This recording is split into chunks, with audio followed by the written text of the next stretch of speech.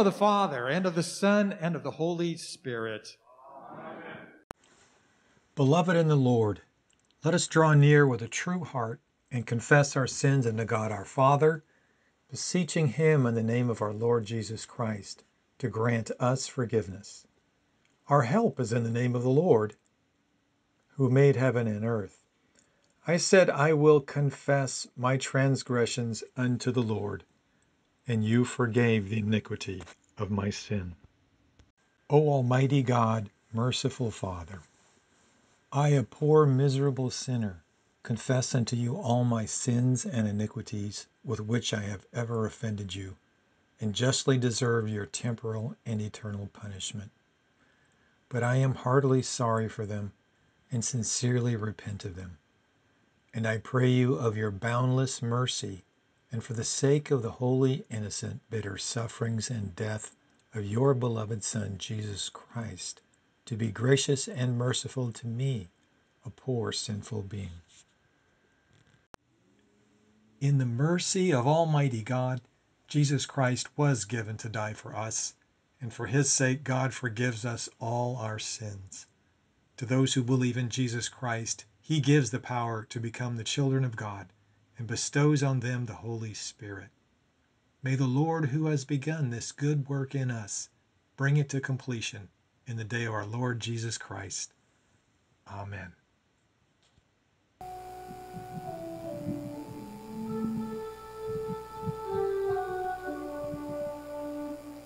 God has gone up with a shout, the Lord with the sound of a trumpet.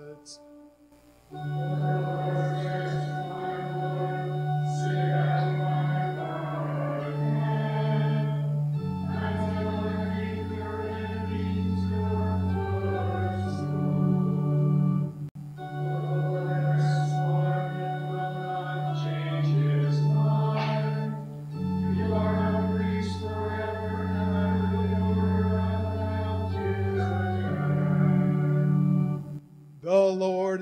at your right hand.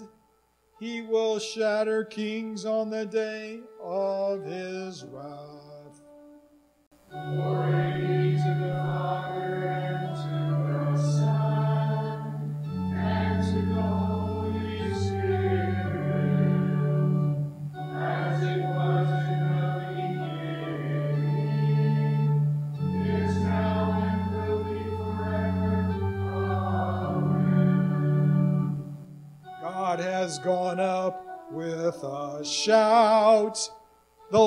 with the sound of a trumpet.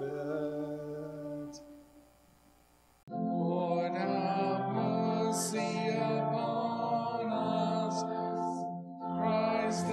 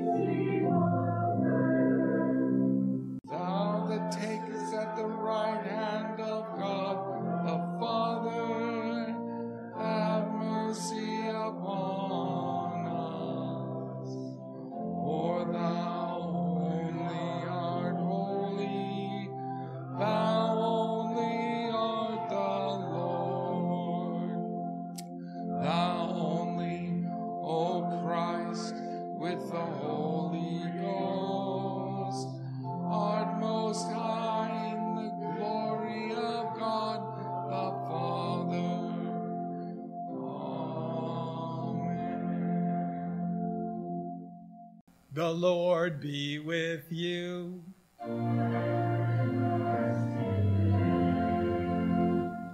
Let us pray. Almighty God, as your only begotten Son, our Lord Jesus Christ, ascended into the heavens, so may we also ascend in heart and mind and continually dwell there with him, who lives and reigns with you in the Holy Spirit, one God, now and forever.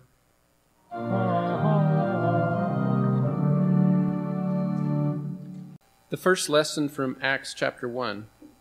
In the first book, O Theophilus, I have dealt with all that Jesus began to do and teach until the day when he was taken up, after he had given commands through the Holy Spirit to the apostles whom he had chosen. To them he presented himself alive after his sufferings by many proofs, appearing to them during forty days and speaking about the kingdom of God. And while staying with them, he ordered them not to depart from Jerusalem, but to wait for the promise of the Father, which, he said, You heard from me, for John baptized with water, but you will be baptized with the Holy Spirit not many days from now. So when they had come together, they asked him, Lord, will you at this time restore the kingdom to Israel? He said to them, It is not for you to know times or seasons that the Father has fixed by his own authority. But you will receive power when the Holy Spirit has come upon you, and you will be my witnesses in Jerusalem, in all Judea and Samaria, and to the end of the earth. And when he had said these things, as they were looking on, he was lifted up, and a cloud took him out of their sight. And while they were gazing into heaven as he went, behold, two men by them in white robes, two men stood by them in white robes and said, Men of Galilee, why do you stand looking into heaven? This Jesus who was taken up from you into heaven will come in the same way as you saw him go into heaven. This is the word of the Lord. Clap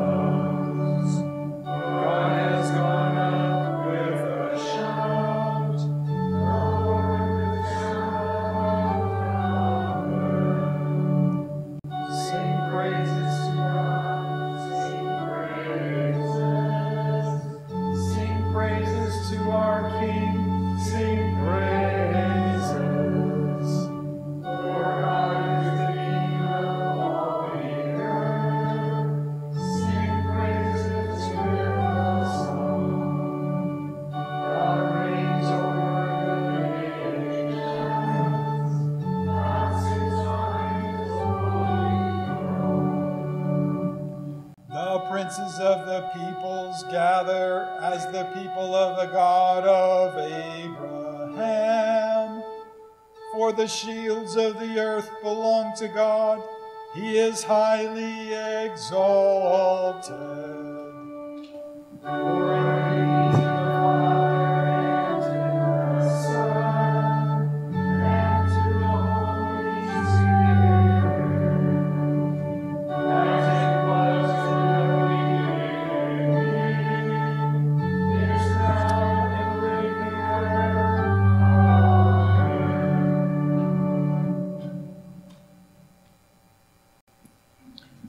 Epistle reading from Ephesians chapter 1.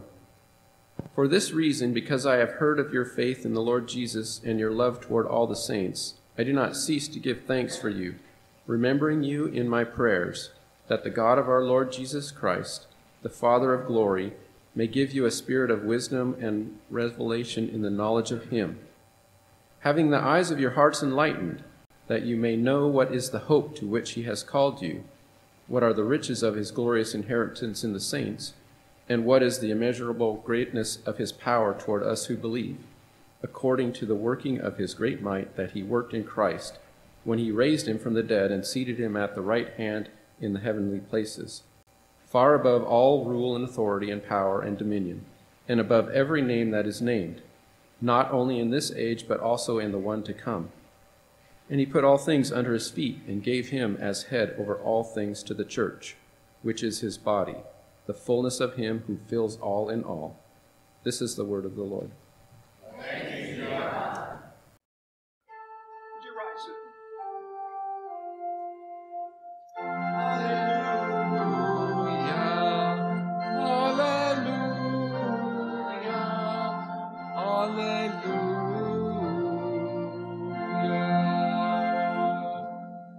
This morning, the Holy Gospel according to Luke, the 24th chapter.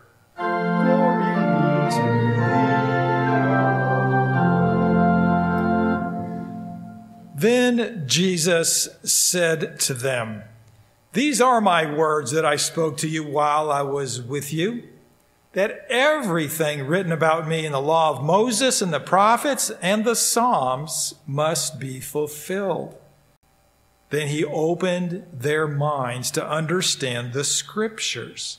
And he said to them, Thus it is written, that the Christ should suffer and on the third day rise from the dead, and that repentance and forgiveness of sins should be proclaimed in his name to all nations, beginning from Jerusalem. You are witnesses of these things, and behold, I am sending the promise of my Father upon you. But stay in the city until you are clothed with power from on high.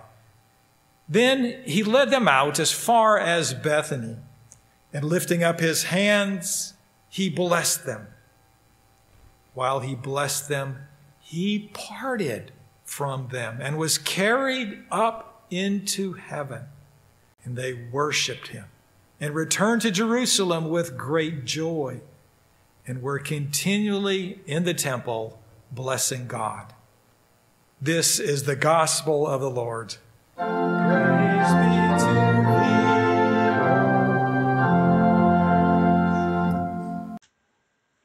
We confess our faith using the words of the Apostles' Creed.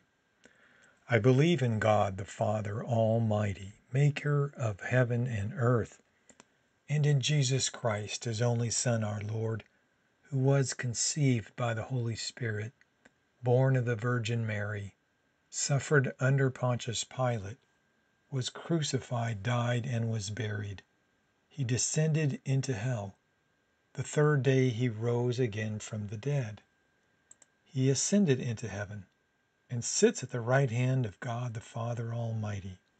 From thence he will come to judge the living and the dead. I believe in the Holy Spirit, the holy Christian church communion of saints, the forgiveness of sins, the resurrection of the body, and the life everlasting. Amen.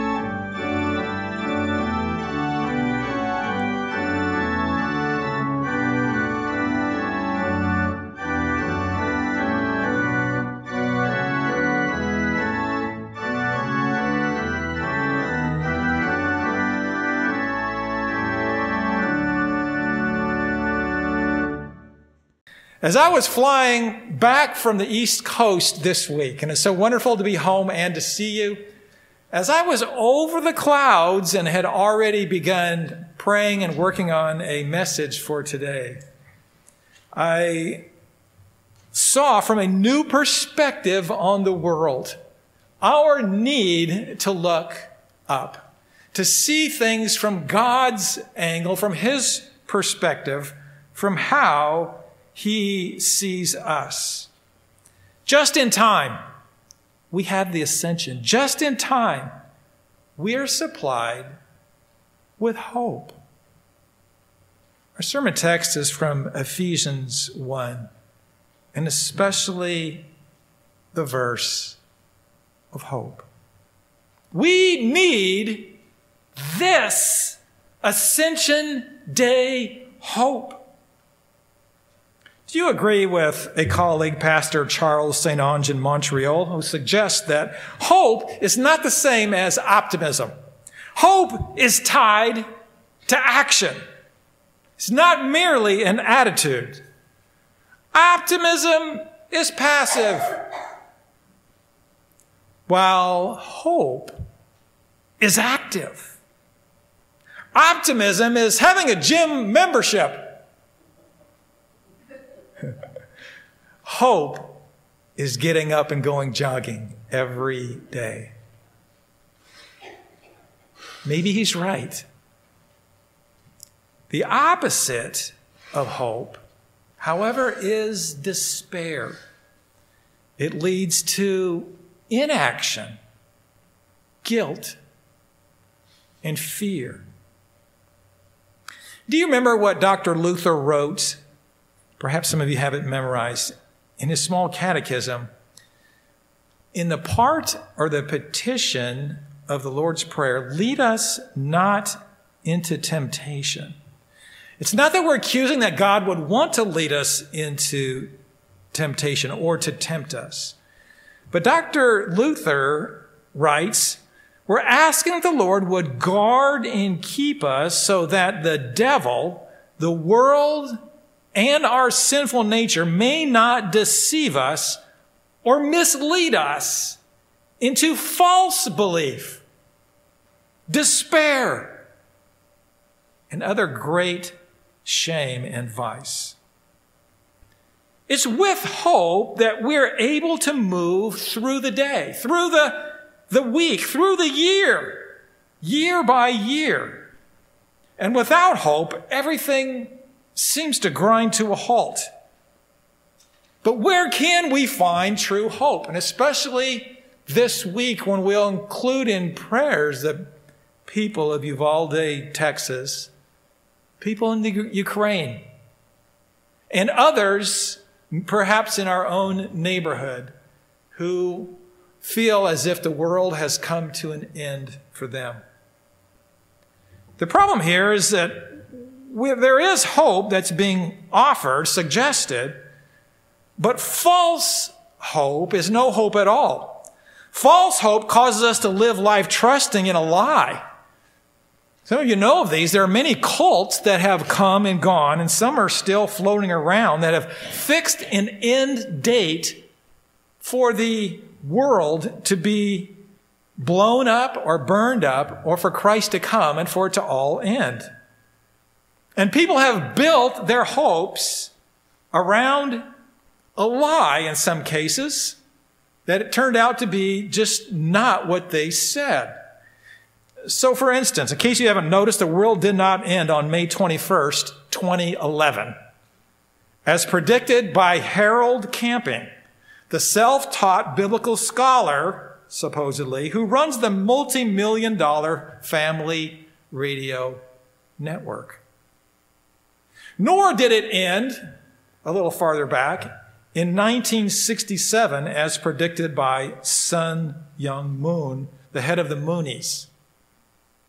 Or his revised prediction of 1989 of the 2000 year. 2,000 years, by the way, if you are like me and working in IT during the field, in the field during that time, um, We even got t-shirts after the year 2000 passed because of all the testing and retesting of our software and our systems and reloading patches to make sure that everything would keep going. We had, we had guys and gals there on site at midnight on, in the year 2000 to make sure that everything kept going and that nothing broke down. Even more, more notorious for me personally was Jim Jones' prediction made in 1978. Jim Jones was so certain that the world would end when his cult was about to be busted up that he ordered his followers to poison their children and themselves. We knew the parents of one of those victims when we served in a church in Southern California. False hope has a great cost. It's, it's not only that which gives you painful disappointment, but it can lead to bitterness, disillusion, bad living of all kinds, rebellion against God. In short, false hope leads to despair and unholiness. You remember Jesus said, Matthew 7, a healthy tree cannot bear bad fruit, nor can a diseased tree bear good fruit. So in our text in Ephesians 1:20, Paul ties real hope to Jesus and specifically to his ascension. Because God has raised Christ from the dead and seated him at his right hand in the heavenly places. We have real hope for our own future. Real hope is found in Christ's physical or bodily ascension into glory, into heaven, not just disappearing into the clouds, in through the atmosphere or to what we would call outer space, but into the presence and throne room of God, whatever that is, wherever it is, whatever it's like. Here, a physical man, a human being, who, according to his human nature or mode of presence, has changed.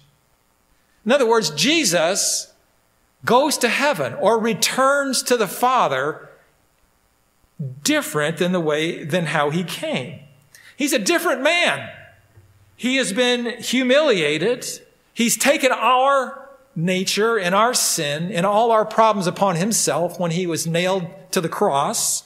He has been raised from the dead. He has given us his promises.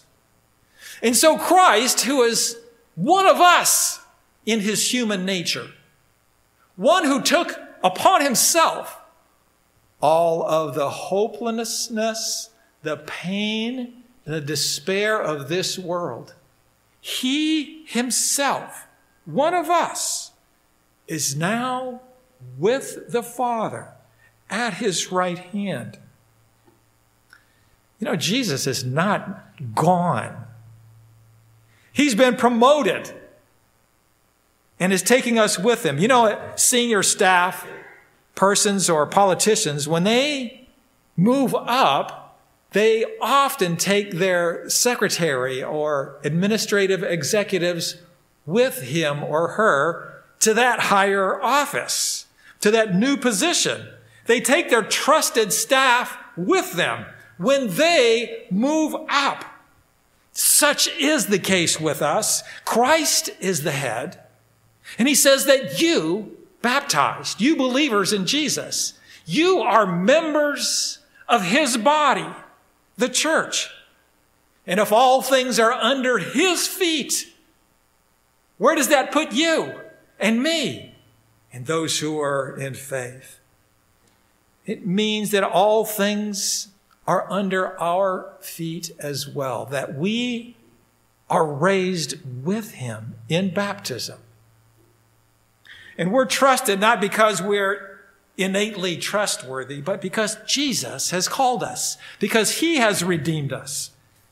And so in verse 18, it says he's given us the riches of his glorious inheritance in the saints.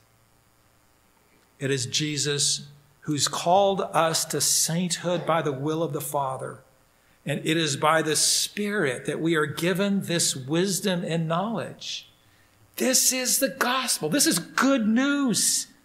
By his death, resurrection, and ascension, our sins are forgiven, and we inherit a portion of his riches.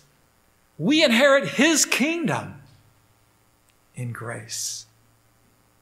So even though we don't walk, talk, and eat, seeing his physical body here like you could see me and I can see you this morning, yet he is with us.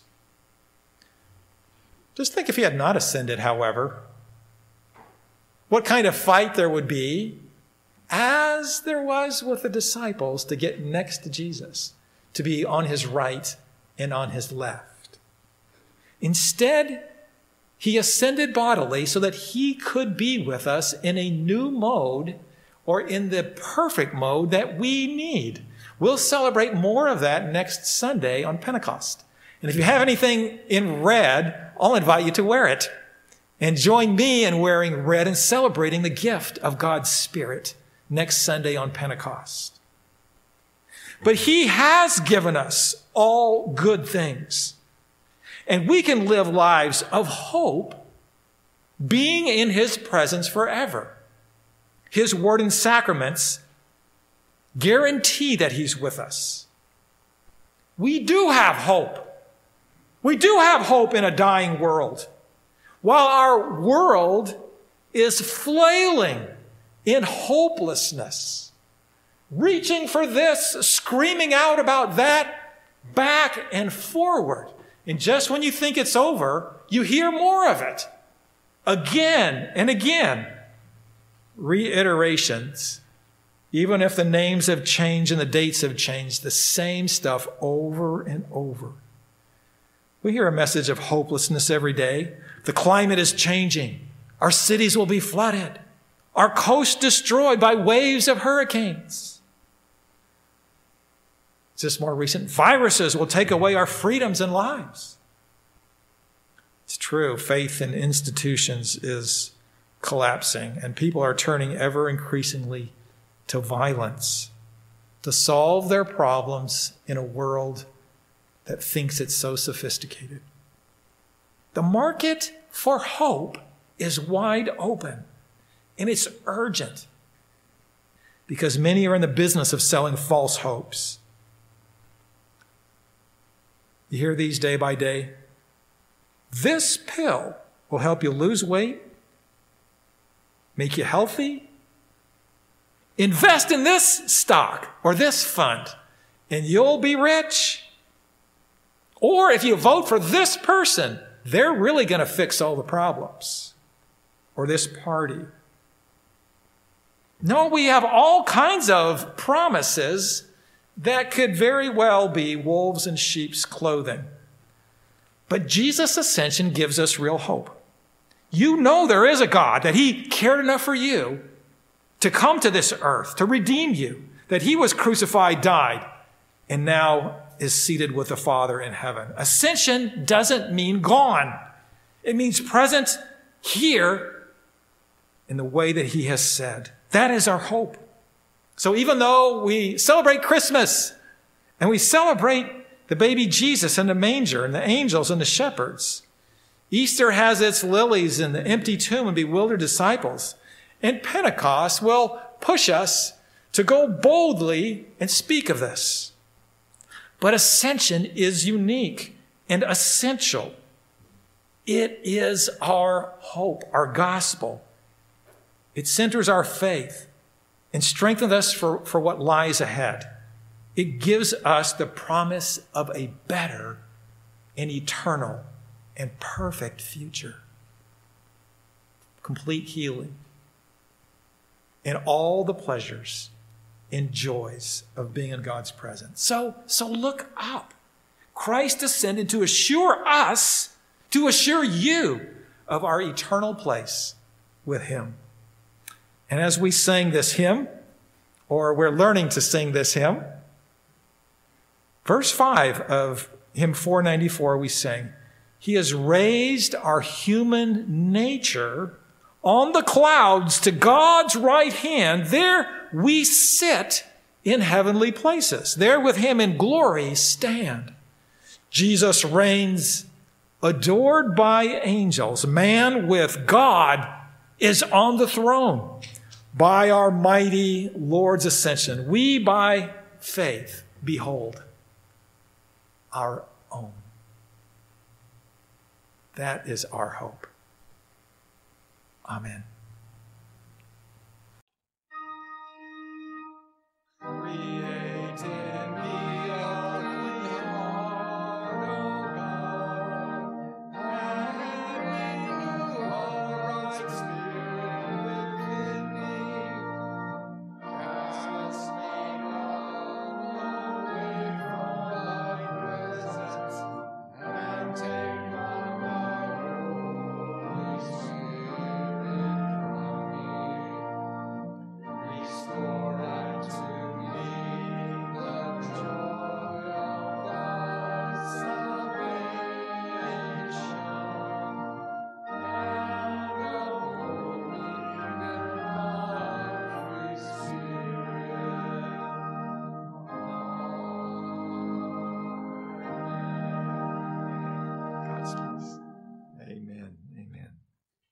Our Father who art in heaven, hallowed be thy name. Thy kingdom come, thy will be done on earth as it is in heaven. Give us this day our daily bread, and forgive us our trespasses, as we forgive those who trespass against us. And lead us not into temptation, but deliver us from evil. For thine is the kingdom and the power and the glory, forever and ever. Let us bless the Lord. Thanks be to God. Dear friends, the Lord bless you and keep you. The Lord make his face to shine upon you and be gracious to you. The Lord look upon you with favor and give you his peace.